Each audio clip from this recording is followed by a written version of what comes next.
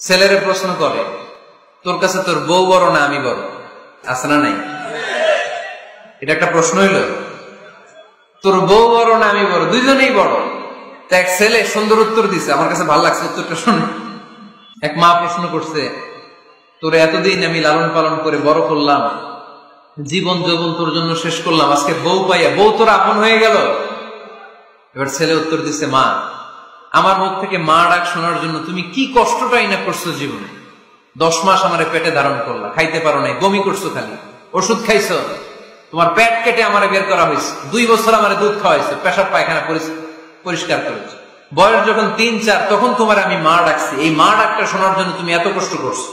আর আরেকবারের মাইয়া এই ঘরে আইসে তোমার মা ডাকা শুরু করছে। যেই মেয়েটা তোমার মা ডাকে, সে আমার আপন হবে না কেন, মা? ঠিক কিনা?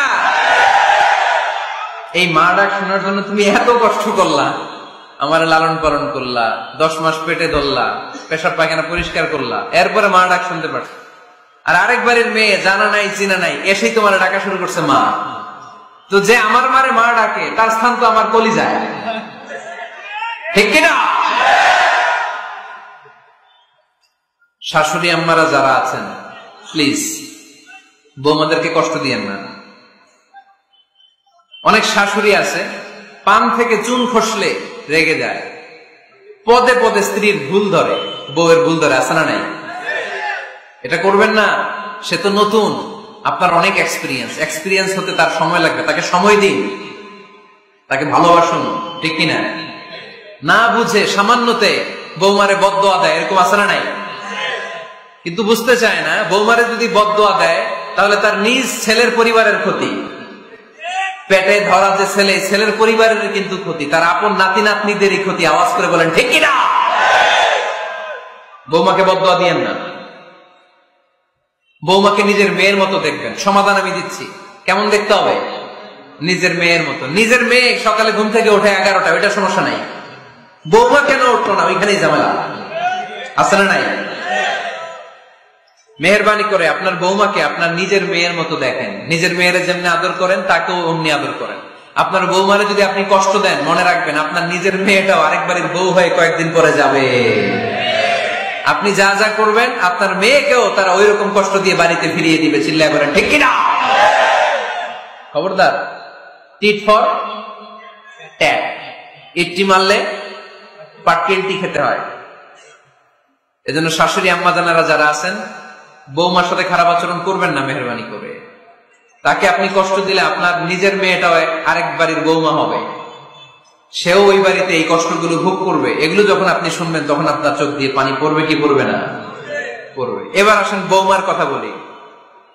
বৌমা যারা আছেন, মেহরবানি করে।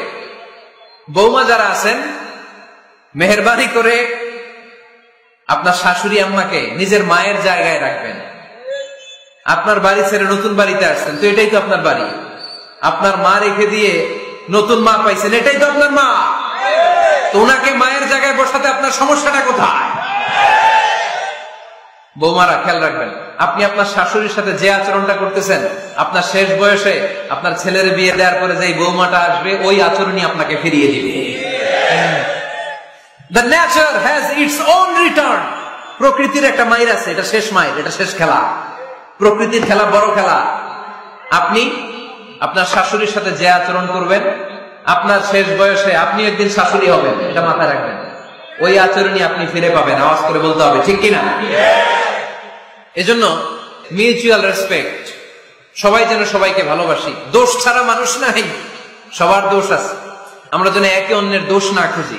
বৌমারা, আপনাদের কেন যদি আমার মাইকের আওয়াজ যায়, অল্প কিছু টেকনিক অবলম্বন করলে আপনি আপনার শাশুড়ির মন জয় করতে পারবেন। শাশুড়িরা আসলে বেশি কিছু চায় না। আগের জামানার মানুষ তো এদেরকে ওইভাবে হাত করতে হবে। মাঝে মাঝে একটু শাশুড়ির মাথায় তেল দিয়ে দিয়ে চুলে তেল দিয়ে দিবেন আপনি। মাঝে মাঝে চুল আসতে দিবেন। এগুলো কিন্তু খুব পছন্দ করে শাশুড়িরা। ওনার প্রেশারটা একটু মেপে দিবেন। ডায়াবেটিক্স এর ওষুধটা খাইলেও কিনা সময় মতো খোঁজ নিবেন। কি পছন্দ করে খেতে একটু রান্না করে দিবেন। যেই বক্তার ওয়াজ শুনতে পছন্দ করে, ওই বক্তার ওয়াজগুলো ডাউনলোড করে শাশুড়ি আম্মাকে দিবেন। ইসলামী বই দিবেন। দেখবেন বয়স্ক নারীরা মাহফিল যেতে খুব পছন্দ করে। ওয়াজ শুনতে খুব পছন্দ করে। নবীদের কাহিনীগুলো শুনতে পছন্দ করে। বসায় বসায় একটু কাহিনীগুলো শোনাবেন। বাইরে বেরোলে জিজ্ঞেস করেন, আম্মা, আপনার কিছু লাগবে কিনা? আর একটা টিপস আছে।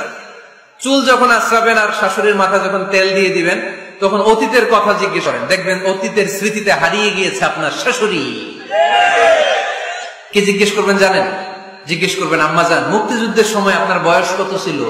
ওই সময় মুক্তিযুদ্ধের সময় আপনাদের এলাকায় কি কি হয়েছিল, মা? আর একটা প্রশ্ন করবেন, মা, বিয়ের সময় আপনি কেমন ছিলেন? ওই দিন দেখবেন বুড়ি আর বুড়ি নাই। জুয়ান হয়ে গেছে। ওই দিন বলবে, মা, আমি অনেক সুন্দরী ছিলাম।